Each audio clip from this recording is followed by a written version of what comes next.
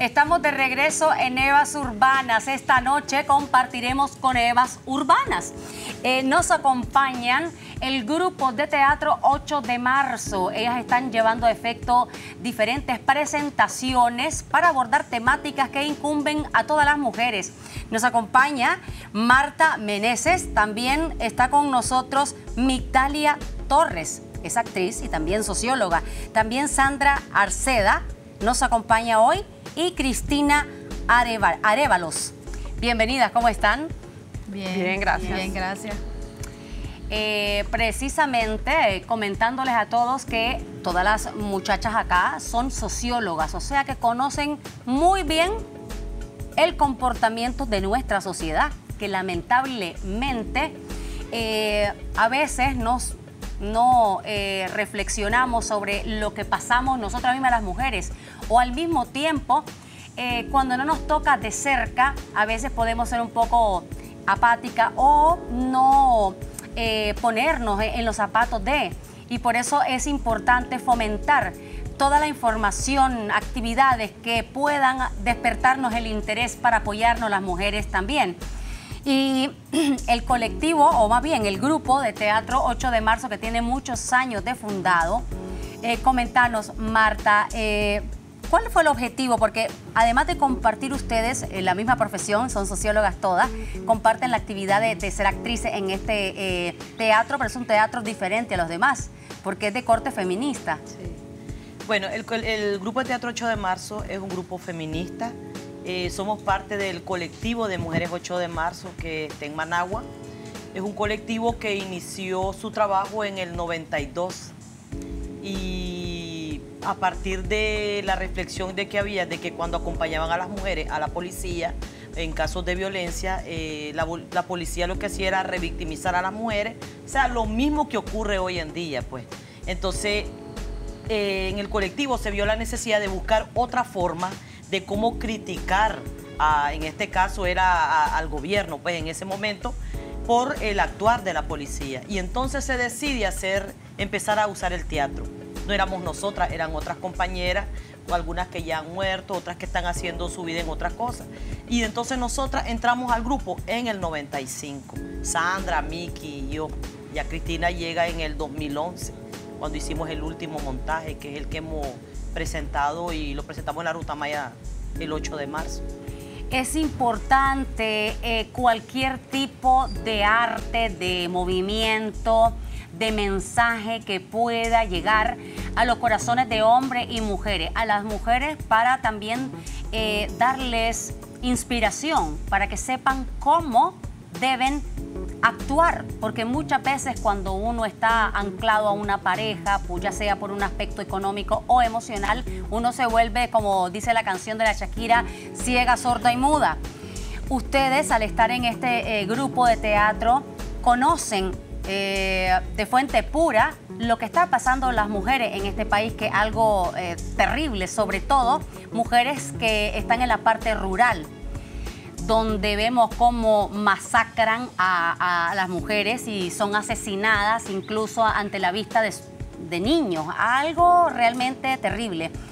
En estas obras que ustedes andan, han estado presentando en Managua, ¿han ido, por ejemplo, a algún departamento o zona rural?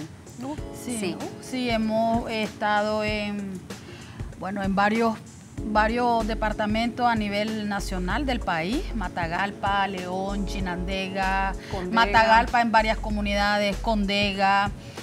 una obra de teatro este, que las mujeres se involucran en ella, que las mujeres pueden también opinar, que las mujeres también pueden eh, decir, pues, este, y sentirse en cierta manera acogidas por nosotras. Hay muchas escenas en las que las mujeres han hecho, pues, su, han sensibilizado con nosotras. Por ejemplo, hay una escena donde sale una persona que es padre, pero no es padre, pero ellas dicen, qué bonito tener un padre de esa forma, que en nuestra comunidad exista un padre que nos apoye, que pueda sensibilizar también y que nos escuche. porque muchas veces no escuchamos a las mujeres o muchas veces responsabilizamos a las mujeres casi de todo, pues. Y creo que también es una obra que, refuerza pues la, forma de cómo ser solidaria, cómo crear grupos de solidaridad con las mujeres. El aspecto, por ejemplo, em, conocemos que está la ley eh, que, bueno, protege a las mujeres. Sin embargo, vemos cómo eh, sigue eh, persistiendo el asesinato a mujeres. ¿Cuál es la raíz? ¿Qué está pasando? Además de las leyes, eh, viene un aspecto de autoestima, de educación, de cultura, de conocer. Eh, hace eh, algunos años que estábamos compartiendo también nosotros este tipo de temáticas, nos escribían algunas mujeres y nos comentaban que era muy difícil para ellas salirse del círculo, tenían temor. Sin embargo, a veces leemos en los diarios, digamos, cómo de repente está una ley, pero la ley eh, se vuelve a veces en tu contra y a veces no. E, es como una, una cosa de nunca acabar. Según la percepción de ustedes, eh, ¿cuál sería eh, para una mujer que está en una situación donde tiene una pareja que es agresiva, qué sería lo primero que, que tiene que estar alerta esta persona para poder evitar la muerte? Bueno, lo que pasa es que quizá viendo más para atrás, la responsabilidad no es solamente de la mujer, ¿no? En realidad, quien es el responsable de la violencia contra las mujeres son los hombres, ¿no? Entonces, quizá los hombres tendrían que, quizá los hombres tendrían que hacerse responsables primero de por qué están violentando a las mujeres. Eh, nosotras, antes quería decir también una cosa, no es que estas obras que nosotras hacemos son directamente para mujeres rurales. Así es. Son también, en, de nuestras obras, las mujeres también se identifican siendo de la, de la ciudad, ¿no? Eh, eso por un lado. Pero volviendo a tu, a tu pregunta, sí, sí nosotras creemos que aquí hay una responsabilidad. Y en la obra Ser como el aire quisiera, precisamente nosotras hacemos como ese hincapié, ¿no?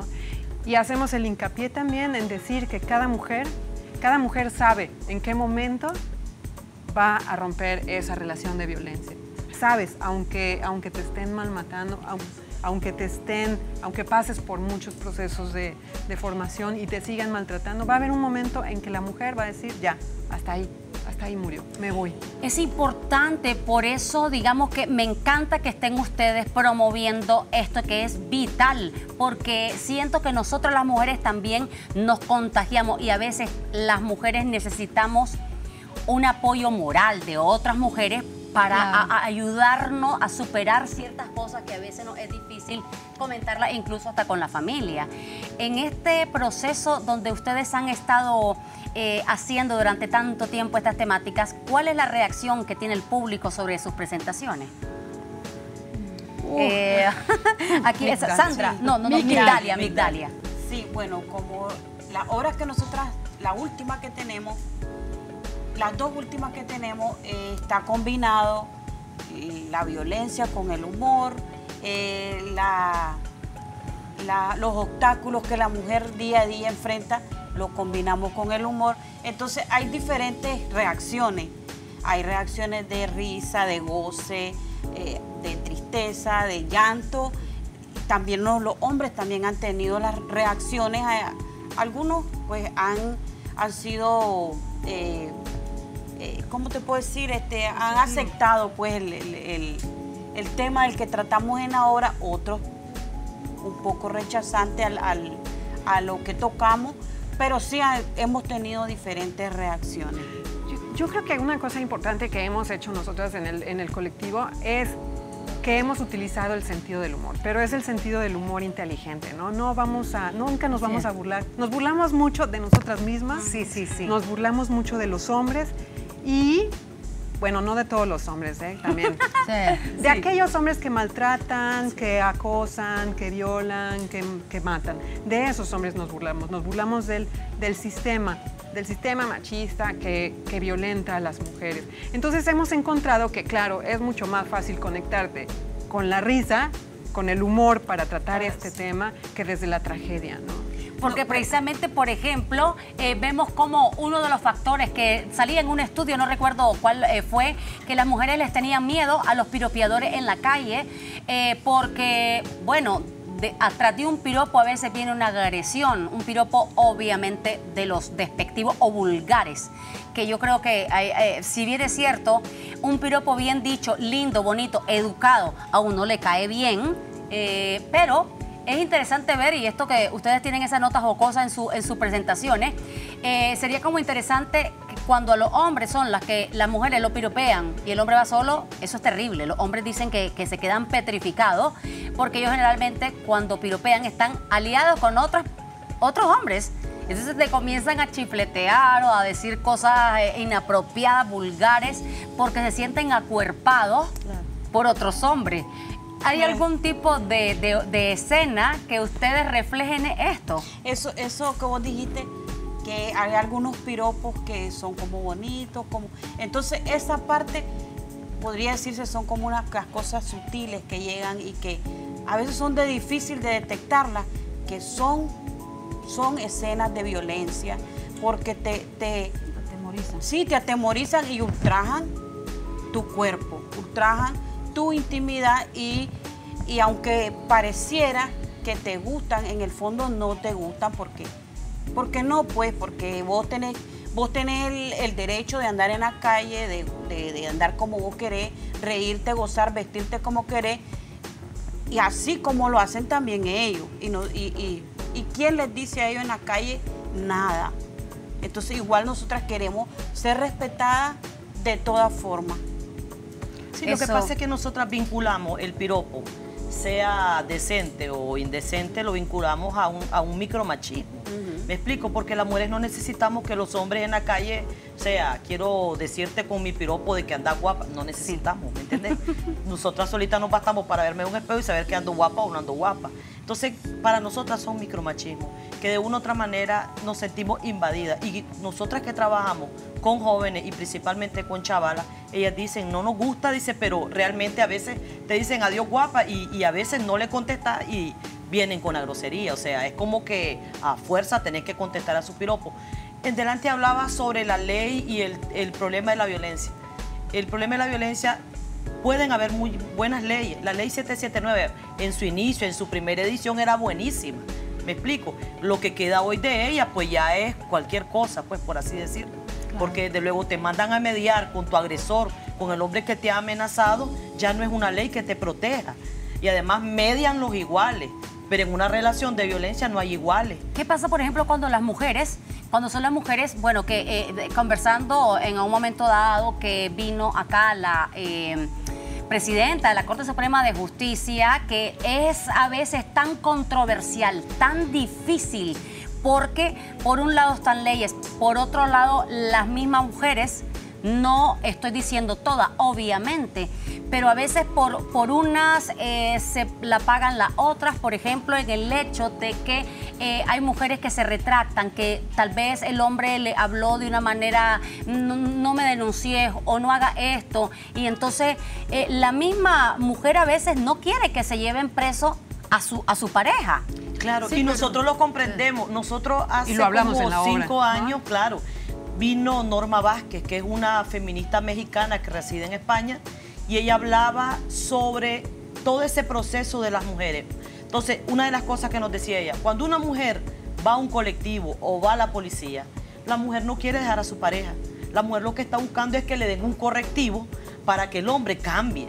Y en ahora lo tocamos cuando la chante viene y dice, yo lo que quiero es que mi Fidencio vuelva a ser mi Fidencio. Entonces, en definitiva, la única que puede tomar una decisión de dejarlo o no dejarlo es la mujer. Así es. Es su decisión. O sea, lo que nos toca a nosotras es sugerirla, acompañarla, ya sea que vuelva o no vuelva con él, nosotros la estaremos acompañando. Esa es la lógica de nosotros, o sea, no las dejemos solas porque uno, las, las estadísticas nos han dicho y los estudios nos han dicho que a las mujeres que han sido asesinadas son hombres, mujeres que han puesto la denuncia han mediado y el hombre solo ha salido a matarla. Y nos pasó en él, en una comunidad con la que trabajamos nosotras, del portón Matagalpa. Eh, la mujer viene y se separa de él. Por iniciativa él dice, no quiero más nada con vos. Él empieza a acosarla y acosarla, entonces ella lo denuncia a la policía y cae preso porque la acosaba. Y entonces, ¿qué fue lo que pasó? Lo dejan libre y solo salió a matarla. Eso es, es- es algo eh, también que, que nos daría para muchísimas Claro, horas y horas porque claro. es, es tan controversial y eh, es tan eh, difícil. Vamos a irnos a un breve corte comercial, pero enseguida regresamos con más de eh, estas mujeres que están en el teatro fomentando los derechos de la mujer. Ya regresamos.